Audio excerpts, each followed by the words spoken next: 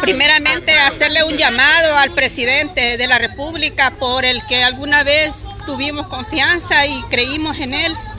Eh, lamentablemente, este atropello, él se hace el de los ojos sordos, el de los oídos sordos, ojos ciegos y queremos llegar al corazón de él y pedirle, ¿verdad?, con amor y, y de parte de Dios que se toque el alma, ¿verdad? Para poder este, hacer un procedimiento real, eh, un procedimiento este, que, no, que no siga este, derramando tanta sangre. Ya, ya, está, ya estuvo suave, ya, ya demasiado. Ya el dolor de uno ya se convierte en dureza porque queremos la libertad de nuestros hijos. Sabemos que son inocentes y por ellos damos la cara.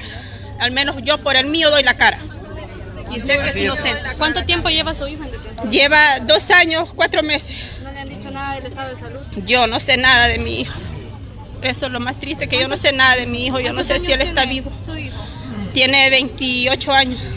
¿Bajo qué cargos lo...? lo- Eh, siempre agrupaciones, sí, siempre agrupaciones. Él fue sacado de la casa porque no tenía el DUI a la mano. Entonces, este, y le dijeron, le vamos a hacer unas preguntas y hasta el día de ahora estoy esperando que la policía se acerque, se re- resuelva, que el presidente diga algo y no pasa nada. Pe- Pedimos, ¿verdad?, en nombre de todas las víctimas, pues que, que lleguemos al fondo de, de todo esto y que sigamos en la lucha, pues, por nuestros hijos. Al menos, pues yo voy a seguir, ¿verdad?, por el Bueno, mío. tenemos de Arcatau, Chalatenango, que Bueno, está lejos. buenos días, pueblo. Este, aquí vengo de, Arcatao. Vengo por, pues sí, a exigir la libertad de mi hijo, que se llama Marvin Antonio Sosa. Este, él tiene 28 meses ya de estar detenido, donde no, no sabemos nada de él, no sabemos si él está vivo o está muerto. Y lo que le pedimos al presidente que agilice el- la revisión de estos papeles para que sean liberados ellos, que no estén pagando algo injustamente allí donde los tiene, porque él está enfermo y hasta la vez yo no sé nada de él.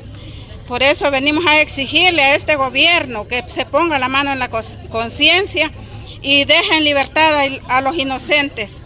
¿En qué, en qué contexto, perdón, eh, lo detuvieron? Pues a él este, lo sacaron de la casa, estaba cuidando a su niña porque él es padre soltero. Eh, yo soy la mamá de él, ¿verdad? Y él es pa- padre soltero y estaba cuidando a su niño a la hora que él llegaron a, a sacarlo de la casa porque él no lo, lo- lo acusan de agrupaciones ilícitas, pero él no estaba en grupo, él estaba en su casa cuidando a su niña cuando lo sacaron. Entonces por eso le pido la libertad de él.